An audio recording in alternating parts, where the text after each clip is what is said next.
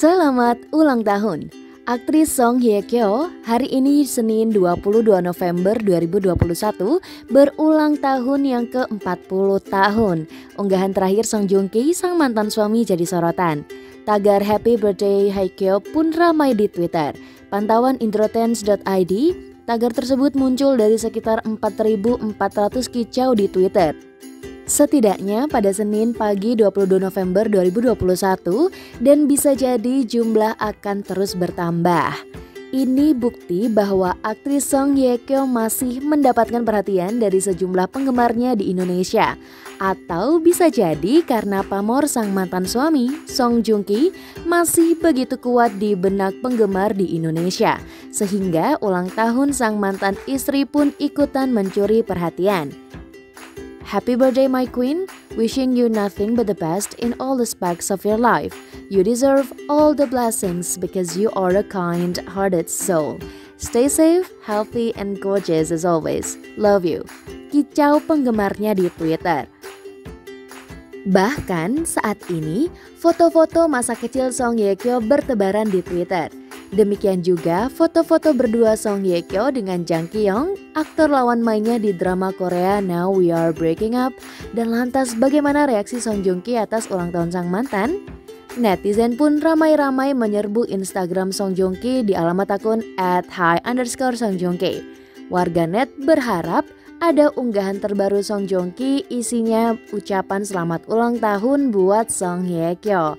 Paling tidak, instastory berisi doa dan harapan agar sang mantan hidupnya lebih baik. Namun sayangnya hingga Senin pagi 22 November 2021 jam 8 WIB tak ada postingan apa pun di Instagram Song Joong Ki yang terkait ulang tahun Song Ye Kyo. Unggahan terakhirnya diposting 4 hari yang lalu, yakni unggahan sebuah buku berisi cerita drama Korea terbaru yang dibintanginya bersama aktris Shin Yun Bin berjudul Chebol Families of the Youngest Son. Ya, kok nggak ada postingan ucapan buat mantan sih? Tanya sebuah akun netizen kecewa. Begitu juga reaksi Song Ye Kyo saat hari ulang tahun Song Joong Ki cukup mengejutkan. Bahkan Song Ye Kyo sampai mengunci kolom komentar di Instagram pribadi. Sejauh ini, gerak-gerik kedua bintang populer ini sama-sama menarik perhatian publik. Publik, khususnya para pecinta drama Korea juga menunggu-nunggu bagaimana reaksi Hye terhadap hari kelahiran mantan suaminya. Ribuan orang mengunjungi Instagram Song Ye Kyo sekedar penasaran apakah Song Ye Kyo mengucapkan selamat ulang tahun atau doa buat sang mantan suami. Reaksi penggemar sang-sang couple tersebut membuktikan bahwa berharap agar idolanya bisa bersatu kembali dalam hubungan yang harmonis walaupun sangat sulit untuk bersatu pasangan yang sempat populer melalui Descendant of the Sun ini tetap menjadi kebanggaan dari semua penonton yang ada.